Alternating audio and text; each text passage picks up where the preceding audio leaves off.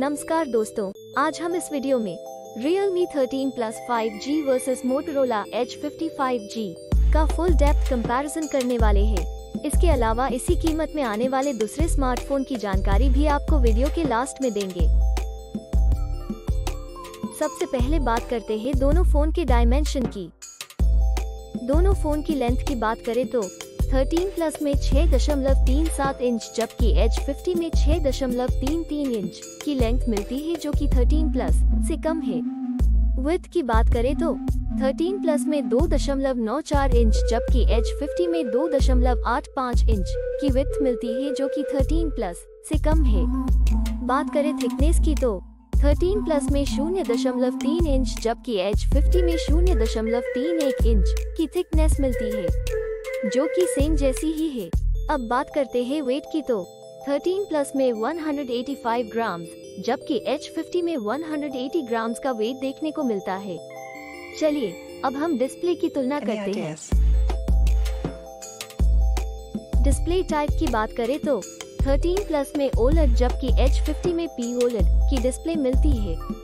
Aspect ratio दोनों phone में same ही 20 रेशियो 9 मिलता है।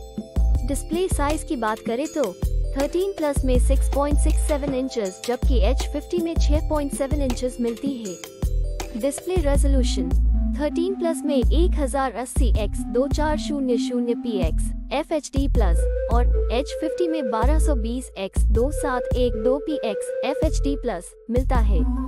Screen to body ratio 13 plus में अठासी दशमलव नौ दो प्रतिशत, जबकि एच फिफ्टी में तिरानवे दशमलव शून्य नौ प्रतिशत मिलता है। बात करें पीपीआई डेंसिटी की तो 13 प्लस में तीन सौ पचानवे पिक्सल प्रति इंच, जबकि एच फिफ्टी में चार सौ चौवालीस पिक्सल प्रति इंच मिलती है। अब देखते हैं डिस्प्ले के अन्य फीचर्स यानी विशेषताएँ की, जो कि मोबाइल फ़ोन का महत्वपूर्ण हिस्सा है। अब बात करते हैं सबके पसंदीदा फीचर्स कैमरा की। दोस्तों, सबसे पहले बात करें मेन कैमरा की तो 13 प्लस में दो कैमरा देखने को मिलता है, जिसमें कि प्राइमरी कैमरा और आखिर में सेकेंडरी कैमरा देखने को मिलता है। और H50 की बात करें तो इसमें तीन कैमरा देखने को मिलता है, जिसमें कि primary camera ultra wide angle camera और आखिर में टेलीफोटो कैमरा देखने को मिलता है। बात करें वीडियो कैमरा की तो 13 प्लस में 10 डिफरेंट टाइप के फीचर्स मिल जाते हैं। और H50 की बात करें तो उसमें 16 डिफरेंट टाइप के फीचर्स मिल जाते हैं।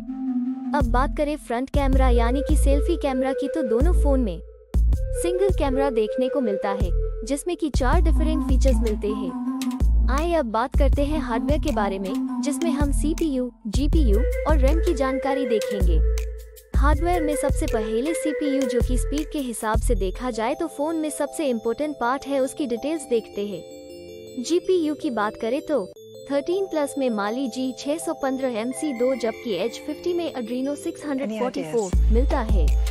चिपसेट की बात करें तो 13 प्लस में मीडिया टेक डायमेंसिटी 7300 एनर्जी और H50 में Qualcomm Snapdragon 7 Gen 1 accelerated edition मिलता है।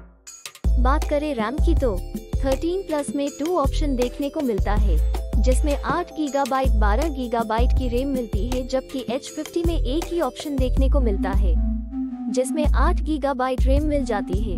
बात करें इंटरनल मेमोरी जिसको हम स्टोरेज भी कहते हैं, वो 13 प्लस में दो विकल्प देखने को मिलता है, जिसमें 128 गीगाबाइट दो गीगाबाइट की स्टोरेज मिलती है, जबकि H50 में एक ही विकल्प देखने को मिलता है, जिसमें दो गीगाबाइट स्टोरेज मिल जाती है। एक्सपैंडेबल मेमोरी की बात करें तो 13 प्लस में अप टू टू टेराबाइट्स जबकि H50 में नहीं, है। ऑपरेटिंग सिस्टम दोनों फ़ोन में एंड्रॉइड वी फोर्टीन देखने को मिलती है। बैटरी की बात करें तो दोनों फ़ोन में 5000 हज़ार एम देखने को मिलती है। आइए अब मेन फीचर को देखते हैं।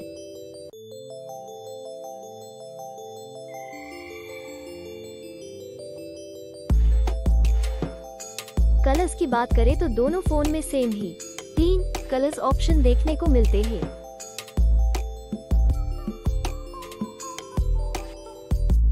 सब इन्फॉर्मेशन देखने के बाद बात करें प्राइस की तो। 13 प्लस में तीन वेरिएंट देखने को मिलते हैं, जिसमें कि 8 गीगाबाइट रैम 128 गीगाबाइट स्टोरेज के साथ बाईस हज़ार नौ सौ निन्यानवे रूपीज आठ गीगाबाइट रेम दो सौ छप्पन गीगाबाइट स्टोरेज के साथ चौबीस हज़ार नौ सौ निन्यानवे रूपीज बारह गीगाबाइट रैम छप्पन गीगाबाइट स्टोरेज के साथ छब्बीस हज़ार नौ सौ निन्यानवे रूपीज में मिलता है। और बात करें एच फिफ्टी की तो उसमें एक ही वेरिएंट मिलता है, जो कि आठ गीगाबाइट रैम छप्पन गीगाबाइट स्टोरेज के साथ सत्ताईस हज़ार नौ सौ निन्यानवे रूपीज में मिलता है। दोस्तों, अब बात करते हैं प्रॉन्स एंड कॉन्स, यानी कि फ़ायदे और नुकसान की तो। Realme 13 प्लस 5G में सात, फ़ायदे और छह नुकसान देखने को मिलता है। जबकि बात करते ideas? मोटरोला H55G की तो उसमें आठ फ़ायदे और छह नुकसान देखने को मिलता है। फाइनली बात करें है रिज़ल्ट की तो डिस्प्ले में दोनों फ़ोन सेम ही है। मेन कैमरा में दोनों फ़ोन सेम ही है।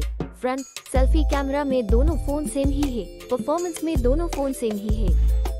प्रिय दोस्तों अगर यह वीडियो आपको अच्छा लगा हो तो कृपया इसे लाइक शेयर और सब्सक्राइब करना न भूलें।